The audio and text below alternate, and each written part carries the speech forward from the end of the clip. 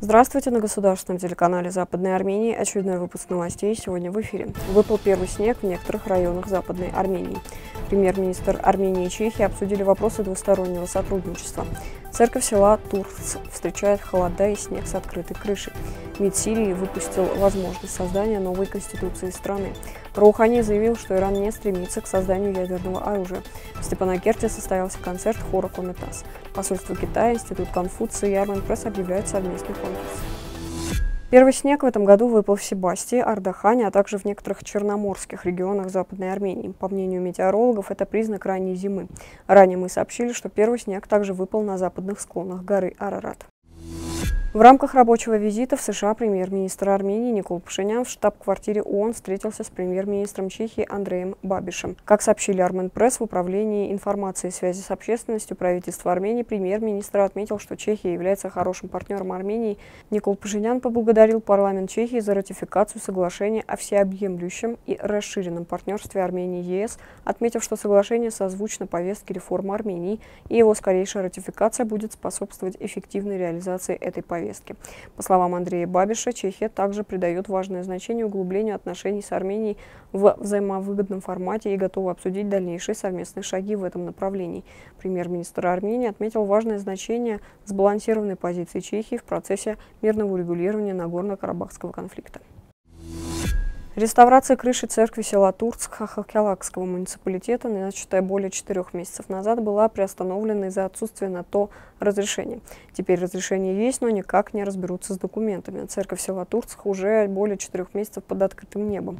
В селе была начата реставрация крыши на средства благотворителей села, однако там не знали, что для внесения любых изменений, связанных с религиозными объектами, необходимо разрешение со стороны Национального агентства по вопросам религии, а после для реставрации объектов представляющих собой культурную ценность, одобрение проекта со стороны Национального агентства охраны памятников культурного наследия. Так как соответствующие процедуры не были пройдены, то работы были приостановлены и был начат процесс получения разрешений. Сколько еще продлится переписка до того, как реставрация будет начата, пока неизвестно. Однако сельчане бьют тревогу о том, что скоро в церкви уже пойдет снег. Напомним, что крышу церкви ремонтируют на благотворительные средства уроженцев села Турск, ныне проживающих в России. Ремонтные работы начались после 10 мая, 16 числа они были запрещены со стороны сотрудников агентства по вопросам религии. Глава МИД Сирии Малид Вуалем не исключил создание новой конституции страны в рамках работы Конституционного комитета Сирийской Арабской Республики.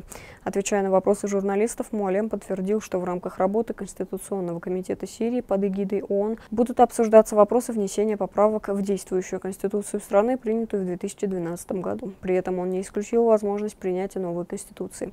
Это не мешает рассмотреть вопрос создания новой конституции, потому что даже если изменить одну статью, то получится новая конституция, отметил министр министр.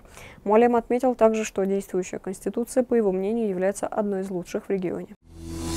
Президент Ирана Хасан Рухани заявил, что Тегеран не стремится к созданию ядерного оружия, передает РИА Новости. «Мы не стремимся к ядерному оружию», сказал он в интервью телеканалу Fox News. Шестерка Великобритания, Германия, Китай, Россия, США, Франция и Иран 14 июля 2015 года объявили о достижении совместного всеобъемлющего плана действий. Соглашение предполагало снятие санкций в обмен на ограничение ядерной программы Ирана.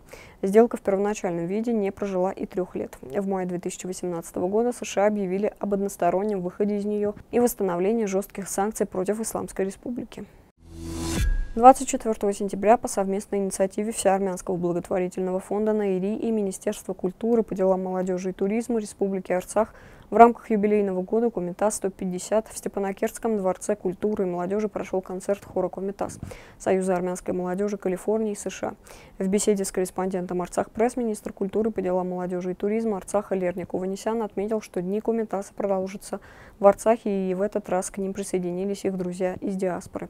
Он также отметил, что в рамках дней Комитаса с 30 сентября по 2 октября планируется еще одна довольно крупная программа, в ходе которой все хоры Республики Армения посетят Арцах Арцах и дадут концерты не только в Степанакерте, но и в Ганзасаре.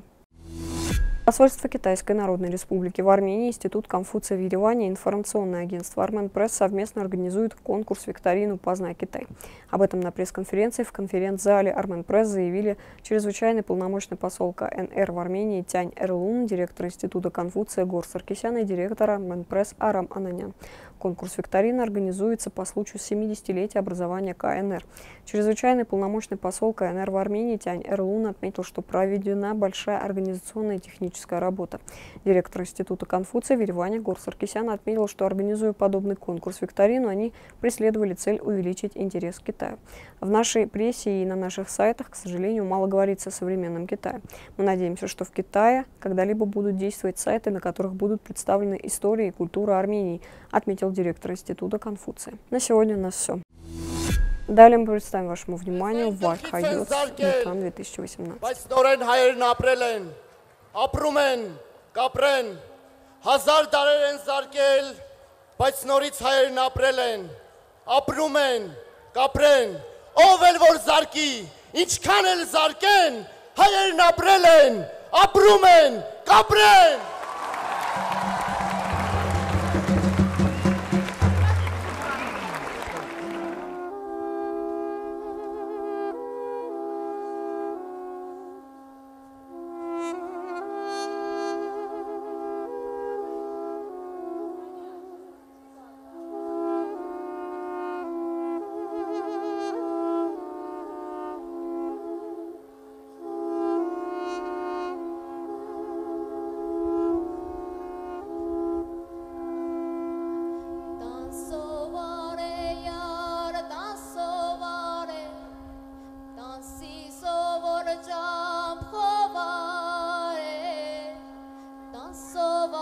Полная версия видео представлена на официальном сайте телеканала Западной Армении. Оставайтесь с миром.